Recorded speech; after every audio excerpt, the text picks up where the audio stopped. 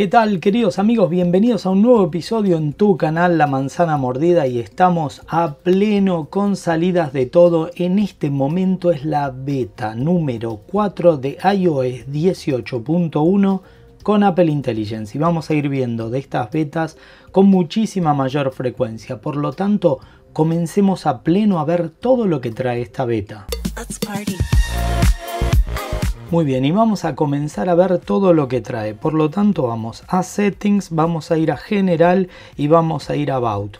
Como te darás cuenta, la versión ya es la 045G. Siguen avanzando las versiones y desafortunadamente tengo malas noticias una vez más.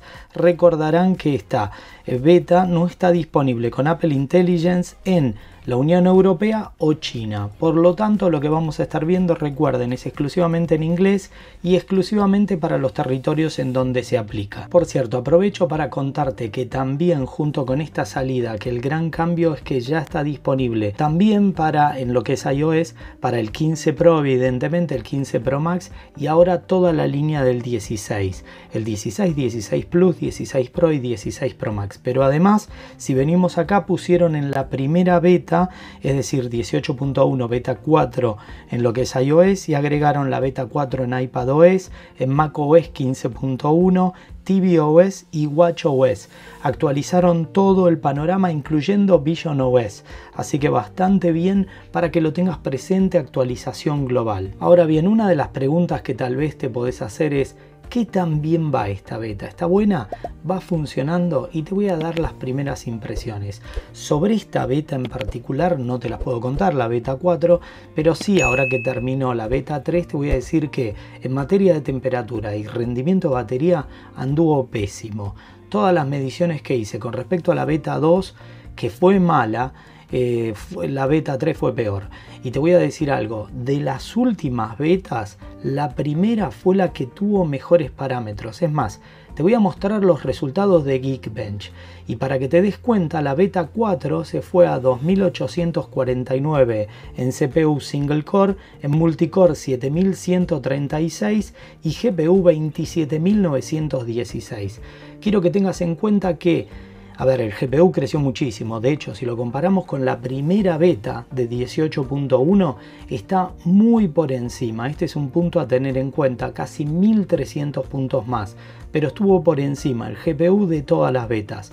En cambio, el 18.1 beta 4 está por debajo en single y en multicore de la beta anterior y te diría que está por debajo incluso de la primera beta de iOS 18.1. Por lo tanto, en materia de performance no anduvo bien, sí en GPU, pero se siente muy fluido.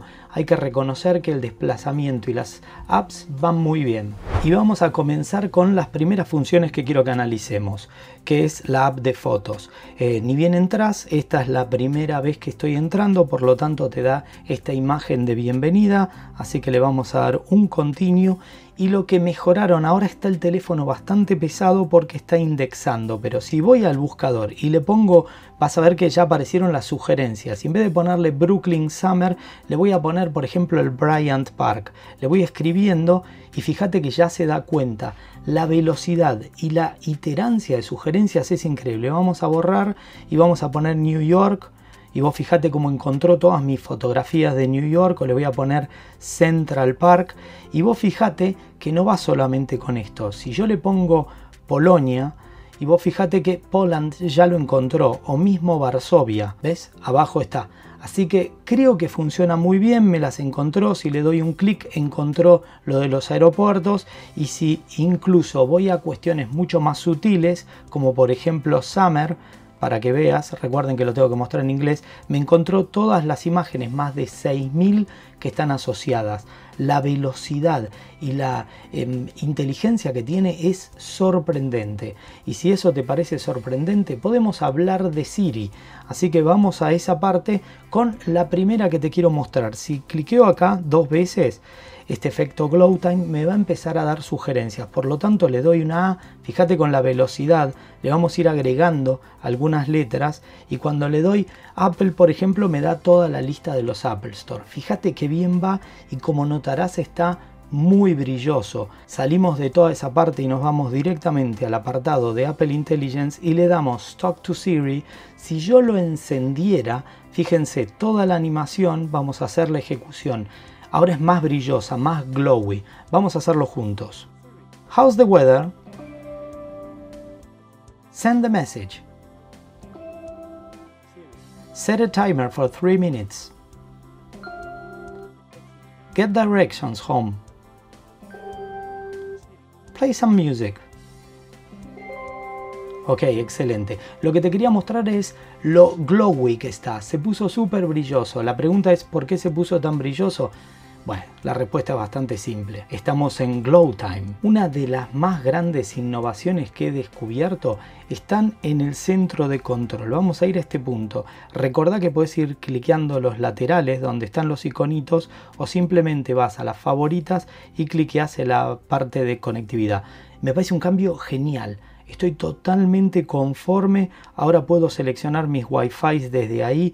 Es mucho más intuitivo. Fíjate qué bien que va. Tocas en el borde. Me parece más rápido, más lógico y más intuitivo.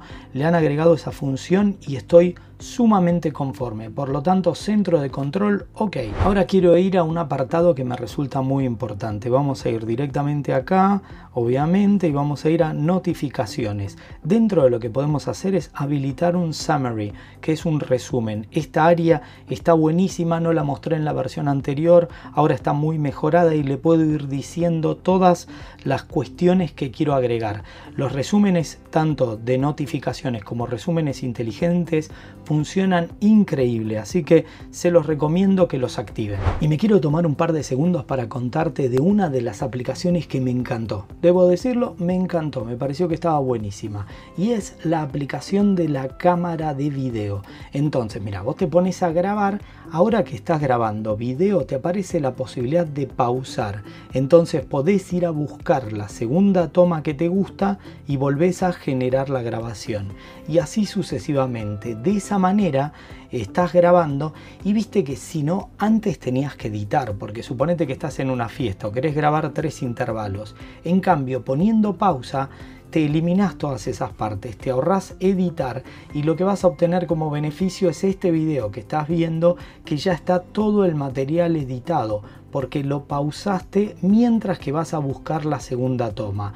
Es genial, así que escúchame, si me estás prestando atención a Apple, a los ingenieros, podrían copiar una función que tiene la Insta360 Ace Pro, que es continuar una grabación anterior. Entonces estás en un viaje y gracias a esta función en cada destino que va llegando continúas el video. Eso lo hacen las cámaras de acción hoy en día y te permiten pausar una grabación, retomar o continuar una grabación anterior. Presta atención, ¿eh? te lo dijo el tío Fabián en la manzana mordida. ¿Eh? Ahora voy a pasar a una noticia que es genial. Voy a ir a las grabaciones y voy a llamar a mi mujer. La posibilidad de grabar llamadas antes pertenecía a Apple Intelligence, ahora ya no. Ven que aparece este icono, le doy grabar y va a empezar a hacer una grabación avisándole a ella. Ven que ahí está y está empezando la grabación. Que en el margen superior derecho ves que ya me puso la I con la información que la va a asociar a una nota. Y ya puedo cortar la llamada, verás que la tenemos en esta parte de acá arriba, está la llamada con Bunny, al pertenecer, al eliminarlo de adentro del motor de Apple Intelligence, obtenés la ventaja de que esta función va a estar soportada por otros teléfonos que no pertenecen a la actualización de Apple Intelligence. Por lo tanto, también es una buena noticia. Y hablando de buenas noticias, he visto que algunas personas dicen que mejoró muchísimo la app de retoque fotográfico. Por lo tanto, vamos a testearlo. Tengo esta foto que estoy acá parado frente al puente de Brooklyn y este atlético quedó parado atrás mío con piernas torneadas, todo musculoso y yo todo gordo. Así que evidentemente lo que voy a hacer es apretar clean up y tratar de eliminarlo. Primero va a ser todo el análisis que teóricamente está mejorado en esta beta. Yo no lo sé, fíjate que abajo está agregando algo que antes no se veía, que es preparing for cleanup y ahora es más, sí tienen razón, identificó hasta los autos. Así que vamos a empezar el borrado a ver qué tan bien le va. Ahí se lo di. Mira, bastante bien, aparecieron unas piernas extrañas y eso como les enseñé en la versión anterior eh, se hace con la segunda vez. Así que vamos a pintar esta parte. a ver si la mejora. Vamos a pintar esta otra, a ver si la mejora. Mm, vamos a hacerlo. Lo que te recomiendo es que lo hagas más de una vez. Si se va limpiando, fíjate que va yendo muy bien y ahora vamos a empezar a limpiar así eh, globalmente a todas las personas que salen. Vamos a darle este pedazo de auto por un lado. Vamos a darle este pedazo de auto por el otro. Ahí hizo cualquier cosa. Así que vamos a volver a darle a ver si lo identifica. Vamos a darle así. A ver si lo encuentra. Mm, bueno, ahí retiró algo. Vamos a ver si hay algo más de este lado. Hay un par de personas, a ver si las podemos eliminar. Eh, las va eliminando. Vos sabés que me parece que es cierto lo que dijeron, mira, bastante bien, de que había mejorado muchísimo. Bueno, en fin, ya lo vamos a ver, pero este es el primer panorama que hacemos de la beta 4 y espero que te haya gustado. Ya sabes si te gustó danos like considera suscribirte y sabe que somos miembros de una comunidad VIP.